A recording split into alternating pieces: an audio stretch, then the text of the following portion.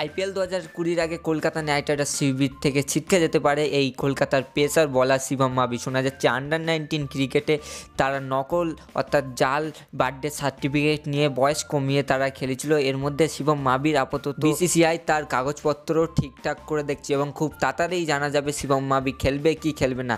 কিন্তু কলকাতা নাইট রাইডার্সের coach already জানিয়েছে, কলকাতা নাইট রাইডার্সের আট পয়েন্ট পাঁচ কোটি টাকার থাকে কি করবে? অর্থাৎ ভালো ভালো প্লেয়ার কিনে যাবে এবং এই সিজনটা অর্থাৎ অনেক প্লেয়ারকে কলকাতা নাইট রাইডার্স কিনবে এবং বাদ দেবে, এরকম ধরনের একটি ঘোষণা হয়েছে। যেখানে শিবম মাবি যদি আইপিএল দু হাজার কুড়ি থেকে ছিটকে যায়। তো কলকাতা নাইট রাইডার্স কাছে এখনও বড় একটা হিউজ অ্যামাউন্ট আছে, যেখানে আট পয়েন্ট পাঁচ কোটি, প্রায় ন কোটি টাকা দিয়ে যে কোনো প্লেয়ারকে কিনতে পারবে। তো আজ আমরা এই ভিডিওয়ে আলোচনা করব যে কলকাতা নাইট রাইডার্সের আইপিএল দু হাজার কুড়িতে শিবম মাবির পরিবর্তে যে দুটি প্লেয়ারকে নেওয়া উচিত। তো ভিডিওটি লাস্ট পর্যন্ত দেখলে বিস্তারিত জানবেন।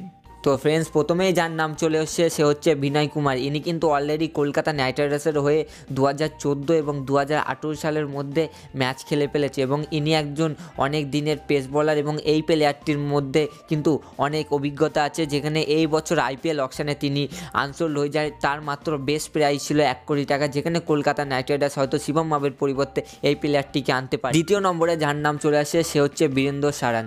ইনি আপাতত আইপিএলে অনেক ম্যাচ খেলেছেন, যেরকম হায়দ্রাবাদ মুম্বাই এবং পাঞ্জাবের হয়ে ইনি খেলে ফেলেছেন। তাছাড়া তিনি টিম ইন্ডিয়ার হয়েও কয়েকটি ম্যাচ খেলেছেন। এই বীরেন্দ্র সারানকেও কিন্তু কলকাতা নাইট রাইডার্স নিতে পারে এই মাবির রিপ্লেসমেন্ট হিসেবে, যেখানে তার এবছর আইপিএলে তার বেস্ট প্রাইস ছিল যেখানে পঞ্চাশ লক্ষ টাকা। সেখানে কোনো দল তাকে নেওয়ার ইচ্ছুক জানায়নি এবং সে আনসোল্ড হয়ে যায়। তো আশা করা যাক মাবি যদি না ফিরে আসে, অর্থাৎ শোনা যাচ্ছে মাবির কেসটা হতেই পারে, কারণ মাবি আগের বছর, অর্থাৎ দু হাজার আঠেরো সালেই সে আন্ডার নাইনটিন অলরেডি খেলেছে এবং তার বয়স হয়তো একটু হলেও বেশি আছে। তাই জন্যে কিন্তু মাবিকে হয়তো সাসপেন্ড করে দিতে পারে বিসিসিআই দু বছরের জন্য।